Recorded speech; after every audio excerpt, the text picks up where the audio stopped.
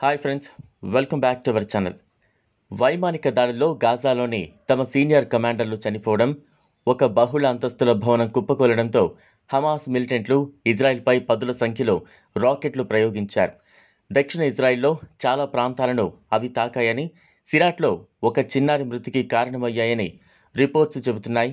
Israel సైన్యం Hamas మిలిటెంట్ల మధ్య ఘర్షణ తీవ్రమవడంతో ఇది పూర్తిస్థాయి యుద్ధంలా మారేలా ఉందని ఐక్యరాజ్య సమితి హెచ్చరించింది. ఇప్పటి వరకు పద్నాలుగు మంది చిన్నారులు సహా అరవై ఐదు మంది చనిపోయారు. తూర్పు జెరూసలంలో ముస్లింలు యూదులు పవిత్ర స్థలం గురించి ఇజ్రాయిలీలు పాలస్తీనియన్ల మధ్య కొన్ని వారాలుగా నెలకొన్న ఉద్రిక్తతల తర్వాత ఘర్షణలుగా మారాయి. పోలీసులు మూడు వందల డెబ్బై నాలుగు మందిని అరెస్టు చేయడంతో ఇజ్రాయిల్లో యూదులు అరబ్లు కలిసి నివసించే ప్రాంతాల్లో మరింత హింస చెలరేగింది. ఈ హింసలో ముప్పై ఆరు మంది పోలీసులు గాయపడినట్లు ఇజ్రాయెల్ పోలీసులు చెప్పారు. ఇజ్రాయెల్లోని కొన్ని పట్టణాలు నగరాల్లో కొన్ని యూదు అరబ్ గ్రూపులు హింసకు పాల్పడ్డాయని కూడా స్థానిక మీడియా రిపోర్ట్ చేసింది. ఏక నగరంలో అరబ్ గుంపు చేతిలో ఒక యూదు వ్యక్తి గాయపడ్డాడని బాట్జామ్లో ఒక యూదు రైట్ వింగ్ గుంపు కారులో వెళుతున్న ఒక అరబ్ను బయటకు లాగి కొట్టిందని కథనాలు ప్రసారం చేశాయి. దేశంలో అల్లర్లు చెలరేగిన ప్రాంతాల్లో శాంతి భద్రతలను పరిరక్షించేందుకు పోలీసులకు సాయంగా సైన్యాన్ని పంపాలని ఆలోచిస్తున్నట్లు ప్రధాని బెంజమిన్ నెతన్యాహు తెలిపారు. ఇటీవల జరిగిన దాడులను అరాచకత్వంగా నెతన్యాహు వర్ణించారు. ఇజ్రాయెల్ సైన్యం స్పందించింది. ఇప్పటివరకు రెండు వైపులా కొన్ని వందల రాకెట్ దాడులు వైమానిక దాడులు జరిగాయి.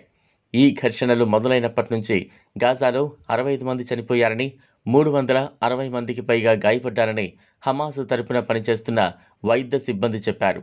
బయటి శత్రువులు లోపలి అల్లరి మూకల నుంచి ఇజ్రాయెల్ను కాపాడుకోవడానికి మా ప్రభుత్వం అన్ని శక్తులు ఉపయోగిస్తోంది.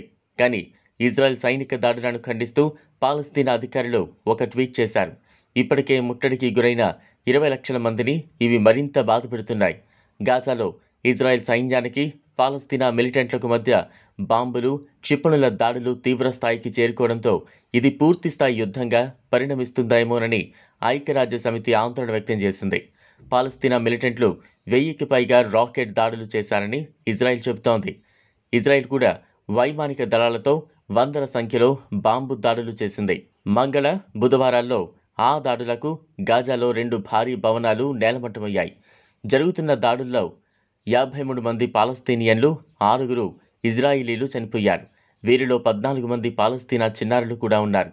ఈ దారుణమైన దాడులు తీవ్ర ఆందోళన రేకెత్తిస్తున్నాయి. ఈ వీడియో మీకు నచ్చినట్లయితే లైక్ చేయండి షేర్ చేయండి ఛానల్ను సబ్స్క్రైబ్ చేసుకోండి. Thanks for watching